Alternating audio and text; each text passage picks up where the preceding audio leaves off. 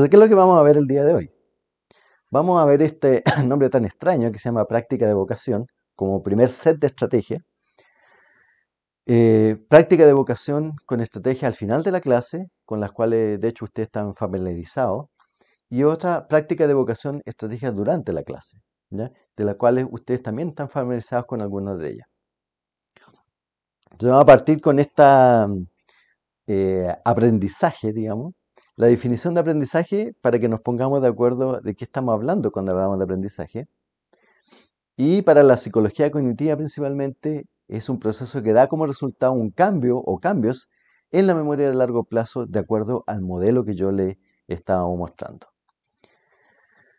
Y em, eh, esto que yo lo estoy dando como definición, ya, eh, a veces no cae muy bien, ¿ya? que es que em, esto, a veces los profesores piensan que eh, puesto así el aprendizaje es como una manera de cerebrizar, el, o sea, como que todo pasa por el cerebro eh, cuando uno habla de aprendizaje, ¿ya? ¿Qué opinan ustedes? Bueno, eh, contrariamente a lo que ustedes puedan pensar, em, yo no soy tan partidario de esta visión, ¿ya?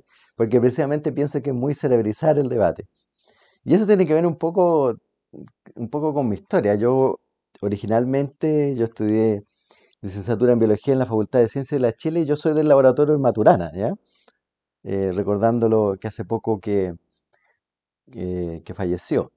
Entonces, no es que yo comulgue con la idea de Maturana, precisamente, yo de hecho soy de la línea que solíamos llamar la línea dura de Maturana, es decir, los que trabajamos en fisiología de paloma. Y, pero em, eh, ahí se da un debate muy interesante que era respecto a dónde ocurre el aprendizaje.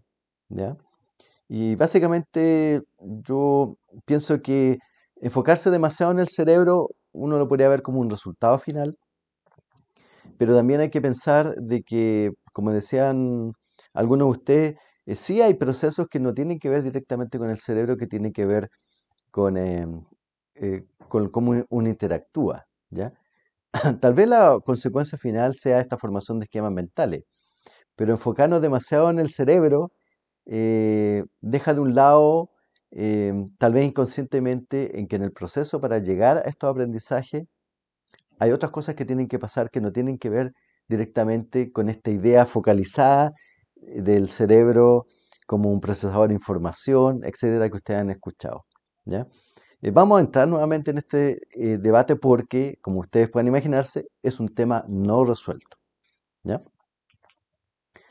Pero vamos a trabajar con este esquema que aquí hago la cita de que esto es una, serie de libros muy interesantes de un grupo de profesores ¿ya? Eh, de escuela que se han metido en este tema en, Inglaterra. Em, y vamos a ver em, cómo a través de este modelo em, precisamente para apoyar la formación de esos esquemas mentales vamos a ver una primera estrategia. Y la estrategia que vamos a ver, que aquí yo voy a hacer como una especie de,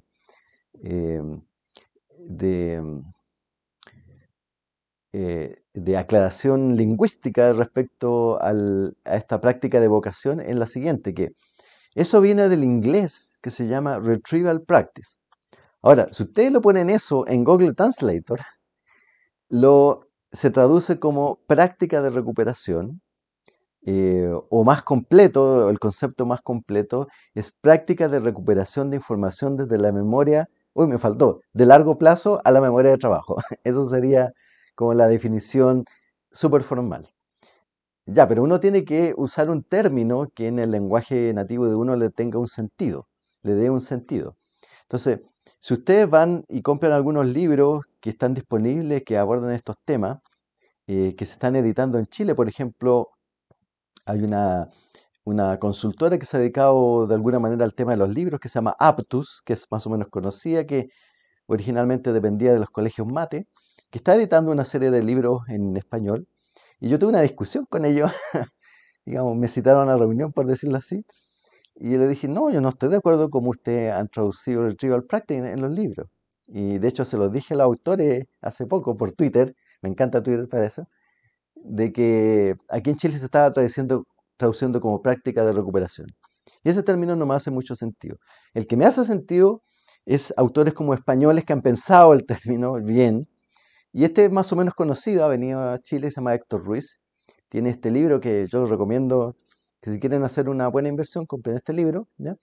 que se llama Como Aprendemos. Y él lo traduce, al igual que otros autores españoles, como práctica de vocación. Lo que pasa es que la palabra vocación en español, para nosotros siempre va como amarrado del concepto de memoria, de evocar recuerdos. ¿ya?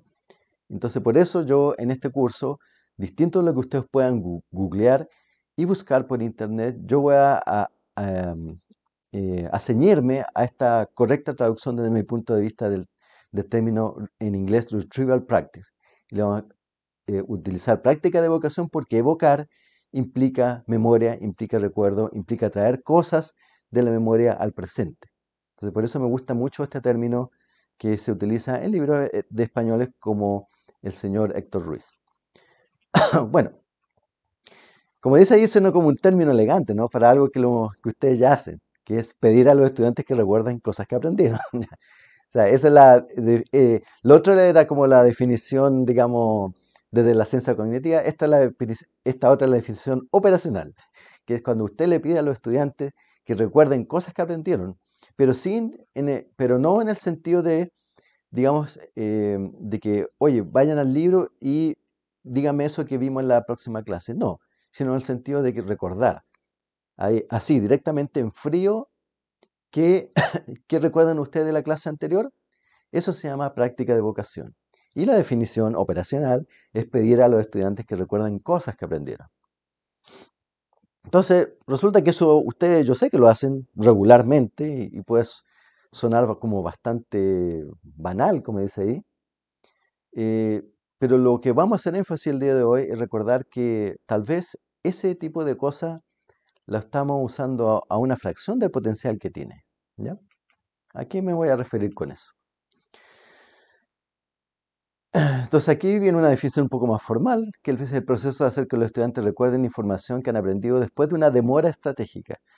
Y le puse en negrita de manera estratégica porque eso en realidad lo determinan ustedes. Tal vez piensan que es adecuado, como yo pienso, que en la próxima sesión que nos juntemos, preguntarle de algunas cosas, así en fríos, sin, hacer que vean su apunte de lo que vieron en la clase pasada.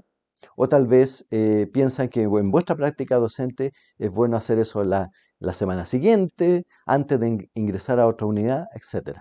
Eso lo determina eh, cada uno y a eso me refiero por demora estratégica. ¿Y por qué esto es importante? Porque eh, algo ustedes ya deben saber que cuando tan pronto como aprendimos algo, comenzamos a olvidarlo. Y, la mejor manera de frenar este proceso de olvido que es natural es hacer esta práctica de vocación de manera regular. Ahora, esto no es nuevo, esto es súper viejo. Por ejemplo, podría citar inclusive a Aristóteles, pero eh, vamos a hacer algo un poquito más reciente, como este filósofo Francis Bacon, escribió lo siguiente, que en el fondo es práctica de vocación. Si lees un texto 20 veces, no te, no te lo aprenderás de memoria tan fácilmente como si lo leyeras 10 veces mientras intentas recitarlo de vez en cuando y, y, consultar el texto cuando tu memoria falla. ¿ya? Esto para mí claramente es, es práctica de vocación. Es decir, así en frío, tratar de, de, recitar un, un texto y si, bueno, si no lo puedes hacer con ese esfuerzo cognitivo que es tratar de acordarse, tú vas a, consultar el texto.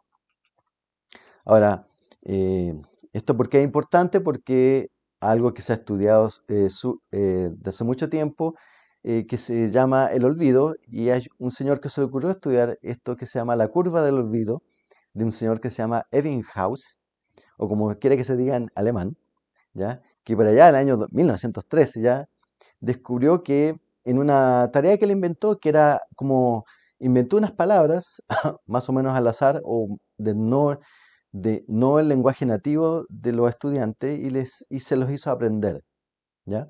Una secuencia de palabras. Y después fue evaluando cada cierto tiempo eh, cuántos se acordaban de eso.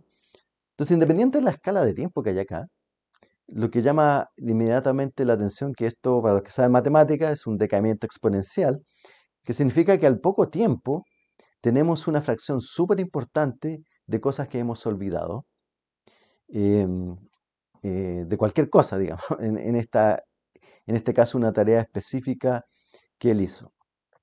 Bueno, y lo que uno debería imaginar que para luchar en contra de esa curva del olvido, uno si intercala en el proceso instancias de revisión, oportunidades de revisión de ese contenido, uno como que sube la curva, ¿ya? No tiene ese, primer decaimiento exponencial, sino que tiene otro decaimiento un poco más suave y lo extiende en el tiempo, y así uno podría extender ese conocimiento.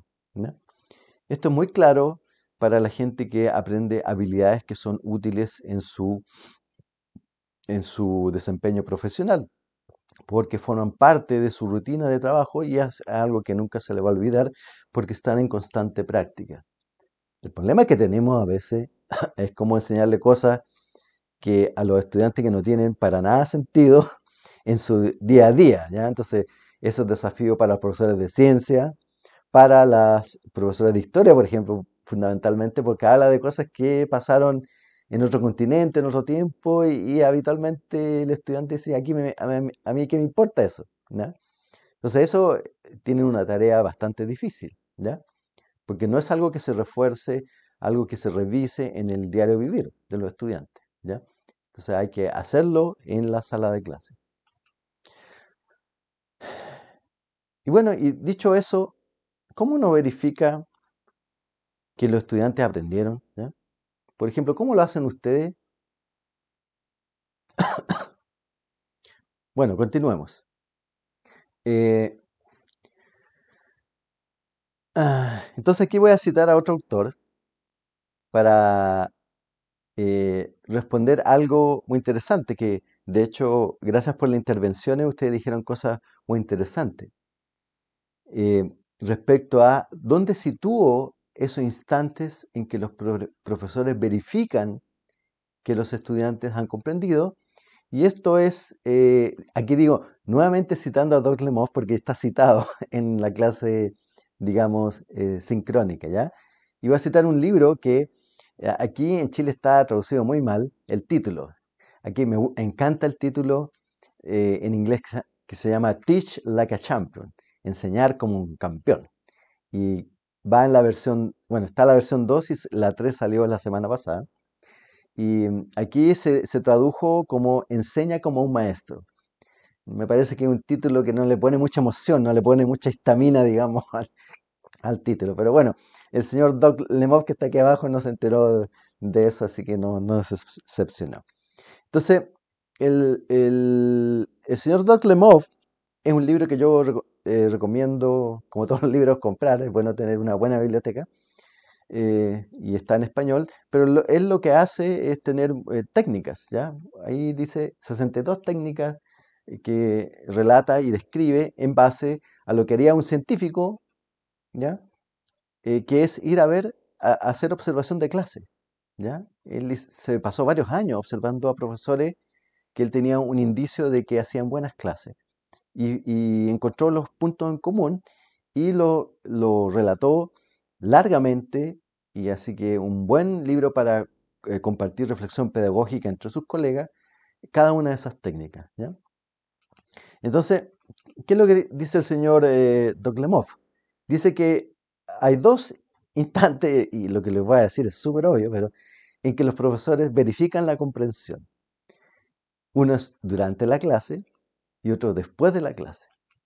Habitualmente en la docencia universitaria, por eso yo hago lo que les acabo de decir, es súper obvio, pero habitualmente en docencia universitaria, em, los que hacen docencia universitaria aquí presente o los que han vivido eso, básicamente la, la verificación de la comprensión de los estudiantes ocurre en los exámenes que son después de la clase. No hay mucho, aparte de un par de preguntas durante el desarrollo de la clase, eh, acerca de la comprensión. Eso en general son los malos profesores de, eh, universitarios. Y hay otro que se ha ido empezando, se, ha, comenzado a usar de una cierta manera frecuente, que también es conocido por los eh, profesores de escuela, pero que también se está como poniendo de moda en los famosos tickets de salida. Ya vamos a hablar de eso. Pero durante la clase, y aquí tiene que ver con lo que ustedes acaban de opinar hace poco, eh, primero hay dos cosas fundamentales. Uno, el problema del tiempo. Uno tiene que dedicarle el tiempo a verificar que los estudiantes están comprendiendo y para eso tiene que dedicarles actividades. Pero las, las maneras como más fáciles que tienen los docentes de recolectar datos, porque en el fondo estamos recolectando datos, es saber qué porcentaje de los estudiantes están entendiendo o no, o si, o si Juanita o Pedrito respecto a la semana pasada entendieron este nuevo concepto que estoy enseñando, es a través de preguntando directamente o eh, observando las conductas, el desempeño de los estudiantes durante la clase. ¿ya?